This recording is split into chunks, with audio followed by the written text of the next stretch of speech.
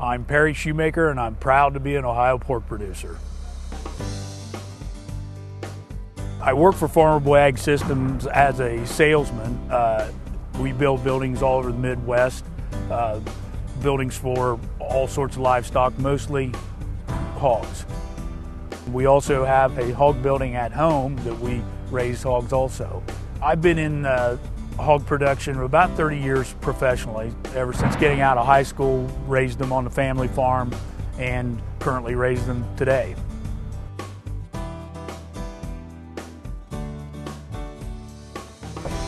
What we're looking at is the beginning phases of a new hog barn. Uh, this one is just about ready for precast flooring. We'll be making our last wall pour today, and next week we'll be setting the flooring, and then on top after that we'll be setting the walls and getting ready to build the structure.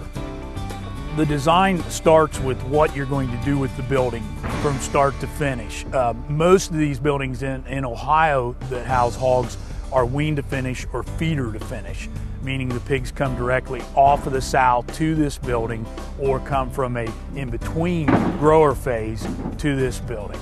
Each site is assessed before a project starts. Uh, instead of just going out in the middle of a field and putting the, the building in the middle of the field. This is a good example of a site that's well thought out, that's looked at, uh, put into an area that is upwind from possible neighbors.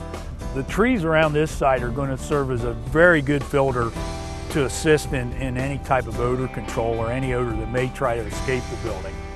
At this phase of the hog building, we have the pit floor poured, the walls are poured, and they're waiting for the flooring that the hogs will actually be standing on.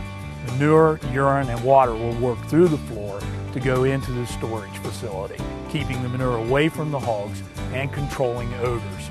From there, we'll set sidewalls, roofing, ceiling, insulation. After the building structure is done, we'll come in with the equipment phase, which is pinning, ventilation, feeding, and alarm systems. After that's all done, we come in with a startup phase, where our technicians test fire all the augers, ventilation, alarm systems, and feeding systems. At the end of the startup phase, we hand the keys to the farmer and he's ready to raise hogs for a living. We are currently in a completed building that is one of the most updated buildings as far as technology is concerned that we operate today. We are under the startup phase today where the service tech runs through all of the systems, ventilation, water, alarms, and then he reviews the controls with the farmer. There's a lot of technology in the barns we build today, starting with the ventilation. The ventilation is extremely variable which is exactly what it takes to raise pigs comfortably today.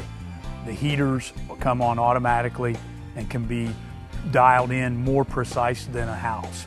In other words, the minute it gets cold, the heaters will come on. The minute it gets hot, the heaters will go off. The ventilation will ramp up, making it a more comfortable environment. This is all automatically done through a very well maintained computerized system feed system is automatic to maintain fresh feed delivered multiple times every day to the pigs. The watering system is fresh and monitored. It's even controlled pressure that keeps the pig from getting splashed or a little bit of a shot too much as he goes up to get a little bit of a drink. Or if he wants a lot, he can go get a lot. The watering system also is the stingiest as far as wastage, where we can control the amount of water wasted going into the pit, which then is just pumped out of the ground and put right back onto the fields. So there's no need in wasting that, nor the fuel, nor the labor to remove that excess water. While it's not your grandfather's big red barn, it's not a factory farm either. The family is still involved in the day-to-day -day operation, and with all the technology involved, we're able to take care of the pigs a lot better than we used to be able to.